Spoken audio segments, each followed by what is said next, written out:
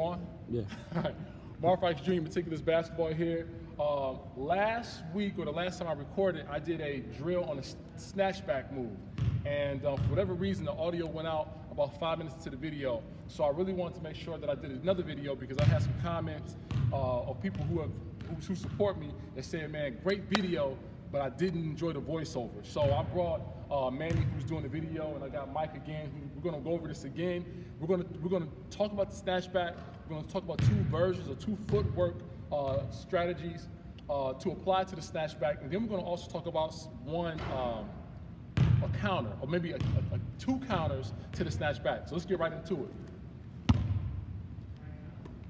We want to make sure that we're getting into the body of the defender as always, right? So we'll start from there. So how do you get past anybody?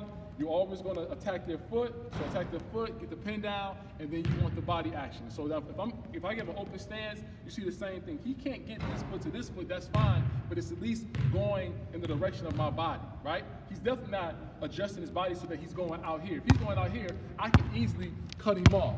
But if, my, but if, but if Mike attacks me in a straight line, now I got to make a decision.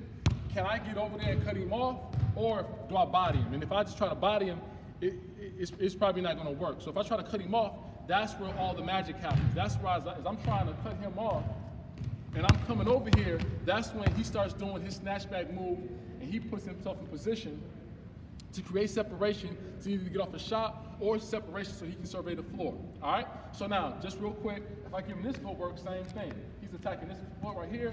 He's, I'm done. His foot is next to my foot. He's got me pinned down. His shoulder's going into me. Now the only thing I can do is try to beat him to the spot. And when I try to beat him to the spot, that's when he stops on the dime and he creates the score. All right?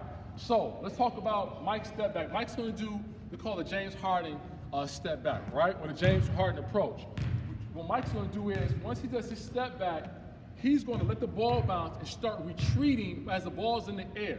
As the ball's in the air, he's going to start retreating so that he's able to get three to four steps in without without traveling. Right? As he's retreating and getting away and getting up his shot, he's going to get about three to four steps in as the ball's in the air. Watch the magic. Oh, going to go this way. So if you go this way, go, go, go, go this way. Yeah, you're that way. You're short this way. All right, here we go. So you can see the preview. That was a preview. I was just making sure that Mike was doing the drill in a way that you can see the footwork and also the ball work. All right? So let's go.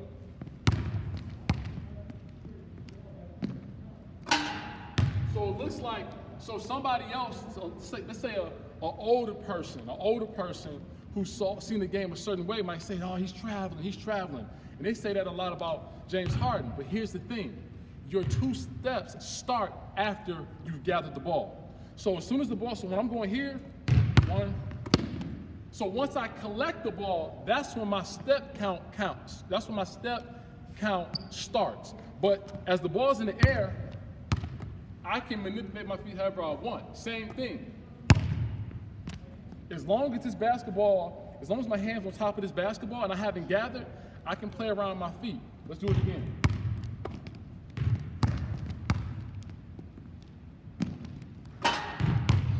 So that's this is this is why this is a, a good move because if you have three point range and you can and you got a hard drive, if you get a guy going full speed and you know how to use those feet to create separation, man, you can go from 15 feet all the way back to what's the three, what's the college three ball? 19, 20?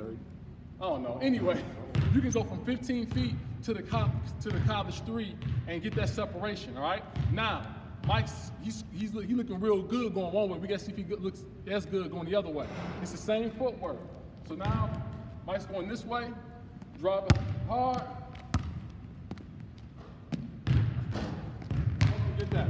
So now, with that drill, when you're going this way, it's easiest when I'm going, when I'm going left, when I go left and I snatch back, when I'm going left and I snatch back, it's a little tougher because as you can see, my right side of my body is away from the basket. So now when I go here, now I have to gather, I have to gather, get my hips swivel in to get myself lined up. When I go left, I'm sorry, when I go right,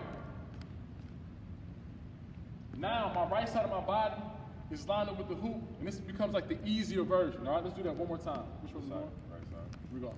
Here, snatch back, he's set, he right? Nice work, nice work. You did a pretty, you did a very good job. So just keep in mind that when, in order for me to do this move, I'm going, and I want to always body this, body the defender, not hand, not put my forearm on him. I want to body him. Once I body him, I move him off my body, right, with my shoulder. Then, as the ball is dropping, I take those steps backwards, and I should have enough space to now get the shot. And here, here's the little bonus bonus feature. If you do it, if the guy comes running at you like he's crazy, you can do two things. The first one, shot fake, draw the foul. The second one, hezzy, show him the, show him the shot, and then go by it. Okay? Here we go. So that's the go by. And then the second one is just draw the five. Just shot fake, and then shot fake, and just draw the five.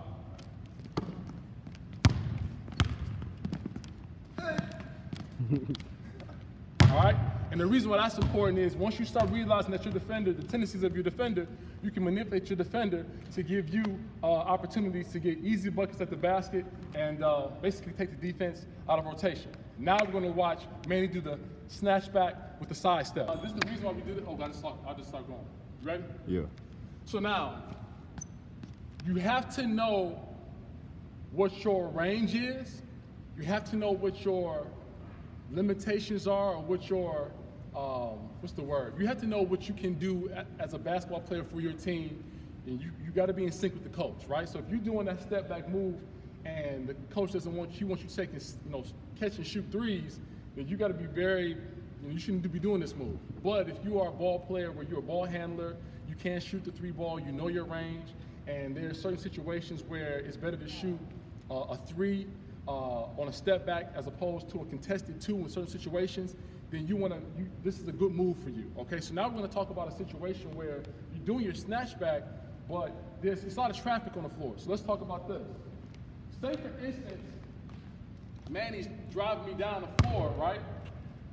But the action, you can move around a little bit, Mike. The action doesn't happen till we get right here. So now you can see that Manny's about, eh, little, maybe about 14 feet away from the basket. If he does a step back, there's no way he's long enough to get back there. He's not Giannis, he's not KD, right? There's no way you're gonna be able to get back there.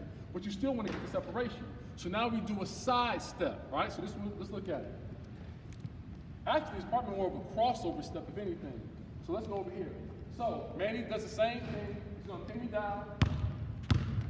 Now, instead of going back, you see where Manny's going? He looks like he's about to go in, in the direction of the camera. So now Manny's gonna take this step, gather, and then shoot. Let's look at it full speed. One, two. It's fine, it's fine, it's fine. So now, why would we do this move? Well, again, if I'm too low and I can't step back, because it's gonna end up being a long two. Coaches get mad at that these days because of the analytics and whatnot. So when I make this move, instead of going back, I may want to stay around the 15, 14 foot area. So as I do this move, now I go over here. Now I've basically created separation, and I've also put my defender in a tough spot because if I've been used to going back for a step back jumper as a defender, now I'm going here, and my defenders, my, my offensive player is going from here, and now he's going this way. So now I got to stop him here, and I got to retreat this way, which is going to open us up for some counters a little bit later. Let's look at it again. Yep. So as you can see, as you can see, I'm over here at this block. Manny finished at the opposite block. And that's how that move can help you out. Or maybe, let's say in this situation, let's go the other way. Freeze. So let's say for instance right here, there's help over here. So now I'm the defender right there, but there's help. So if he steps back, this defender is not the one getting bodied your initial defender got bodied, but I have the ability now to go contest, especially if it's a 5 4 3 2 1 situation, and I know I can sell out on the play because you're going to shoot no matter what. So this is the way we can use our footwork to, eh, to, to get away from not only our initial defender, but also the help side defender. So he's to do the same move. My help's coming. Now he's separated. He's at the free throw line shooting a free throw shot. All because he used his footwork to cross over his body and go from one side of the floor to the other side of the floor. Now, here I am over here bumping into my help side defender while you're shooting a shot all by yourself. Now let's talk about the counter. Oh, well, let's go back to this footwork. So all we're doing now is, uh, which way is the best way to go? Let's go this way. All we're doing now is he's taking me, he's taking me this way, and now he's crossing his foot over. So he's going here, and instead of going back, he's going here, he's crossing his foot across his body, and then he's going for a shot. Something to be mindful of. When you cross over, your body is going toward the sideline. So when you shoot, you got to get low, and you're still not going to be square. Your right foot is still going to be not in scoring position. Now you got to jump up, and now you got to. I used to call it back when I was young. I used to call it the Kobe leg or the Tracy McGrady leg because they were notorious for kicking that foot out. It was to draw fouls, but it also was to get you in the line with the basket and square up. You square up in the air. Some people square up on the ground, some people square up in the air. So now when I go here, that gets me in the line so I can knock the shot down. Now let's talk about the counters. I'm gonna have you do one counter, and then I'm gonna have Mike do one counter, so we can get some more, some more air time, some more, uh, some more screen time. Go ahead. All right. So now, here is the progression. Here's the progression, and again, Marvin, what situations would I do these moves? Well, it all depends on your green light. Once again, all depends on your green light. If your team is a guard-heavy team and the, and the coach allows the guards to create, knock yourself out. If for whatever reason you're an old school team and you got bigs that demand the ball, eh, you may want to be careful. But again, in 5, 4, 3, 2, 1 situations, and you're going against a lengthy defender, a big defender, you gotta have you gotta have a nice, you gotta have a bag. You gotta have a bag that you can go to to pull things out. And this is not something that I would give a steady. I wouldn't give a steady diet of this stuff to anybody because they'll they'll figure you out. But you gotta be able to hold this stuff, uh, withhold this stuff, and then kind of let it let it let show it at the right moment so that you can get what you need in terms of getting enough shots. All right. So now we're gonna work off that crossover step. So what's gonna happen is I'm gonna pin my defender down, and I'm going. Now let me go the other way. So now pinning my defender down, I'm going, I bump him off. Now I cross over, he's coming back after me. So I show the basketball, I freeze him with my hesitation, and then I take off again, I'm going to the cup. All right, here we go. Manny's gonna do it because Manny's much better physical condition than I am. Here we go. All right, so again, one, your hand okay? Yeah. So if I see him do that once, maybe twice, now I know, based upon his role on the team and based upon the shots that he takes, I know he's not going to go back. Now, Michael may go all the way back to the three point line. Manny may be a more of a, a mid range guy, right?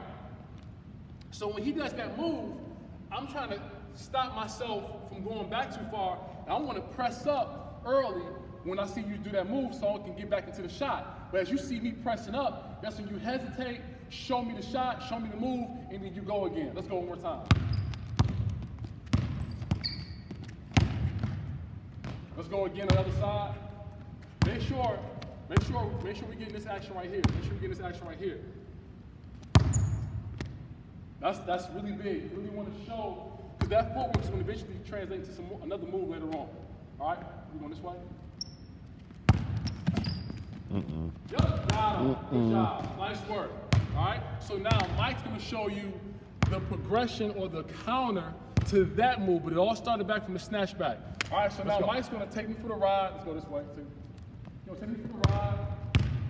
Snatch back. I'm, I'm still up on him because I know what he likes to do. I know I know his game. So now, normally I was being beat. Normally I was over here, but this time I'm still connected to him.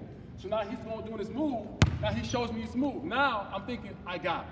He's gonna go by me. He's gonna try to go by me again. But I'm in good defensive position. I'm between him and the rim. I got it. All right. So he pins me down, body, sidestep again. Now you turn a good defensive player who's who knows their progressions, who knows tendencies, who's who's anticipating, you turn them into a, you turn it into a situation where they say, good defense, better offense. All right, let's see what happens. Yep. Wait. Oh, we gotta go. We gotta go. Yeah, yeah. Here we go. Yep. Yep. So now you saw Mike. I don't know if you saw where he finished. Mike finished somewhere over here. Okay. So that's not a it's not a bad shot from an analytics standpoint. This is a 15 footer, maybe 16 footer. He's definitely not finishing way over here, right? But if the defender is going to take away the, this and he hits and ends up over here, it's not a terrible shot. Again, the analytics will say we only want threes and shots at the basket, but the reality is you can't, if you only got a, if you only giving the defender two, two shots to guard, they can, they can figure that out. Maybe that's why the Houston Rockets are struggling so much. All right? So you want to give your, your defender a, a, a, balanced diet so that they don't know what's coming and they got to guard multiple shots. Now we got to go the other way.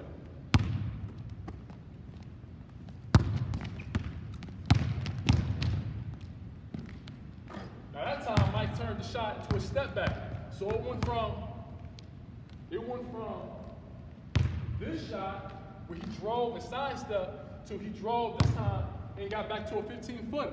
So it's a lot of different ways that after we go here,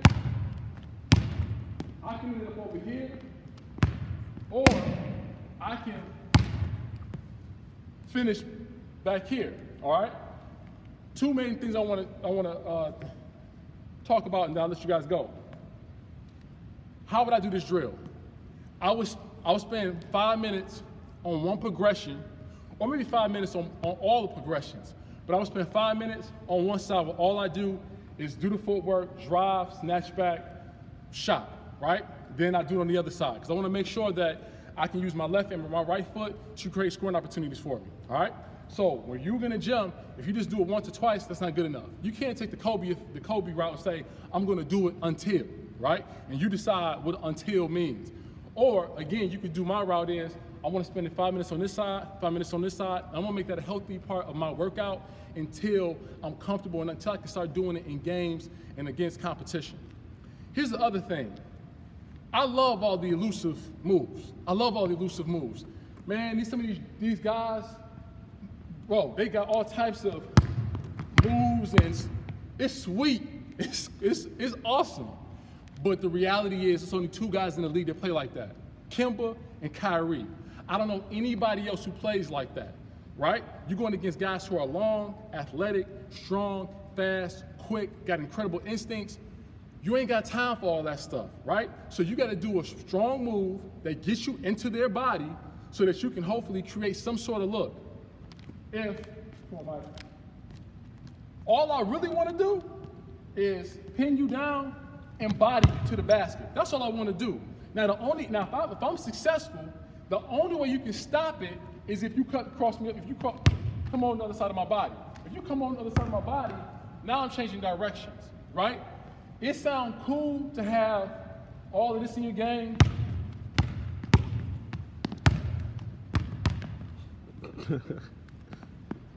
that sound it, look, that's cool. But at some point, the ref is gonna start blowing their whistle. At some point, a team is going to be a, a, a underdog, and you're going against a heavyweight. And at some point, the only way you're going to force your hand on the game is to go into a defender's body, to go straight line action, to, to, to, to, bear, to, to body somebody, right? And force the, the, the, defender to either open up the gate and let you through, or force this ref to call a foul on this dude, call a blocking violation, all right? That's it, man. Uh, snatch back, two ways we can get into it crossover step, or we could James Harden, you know, retreat and then uh, get your shots up. Meticulous basketball, more drills to come.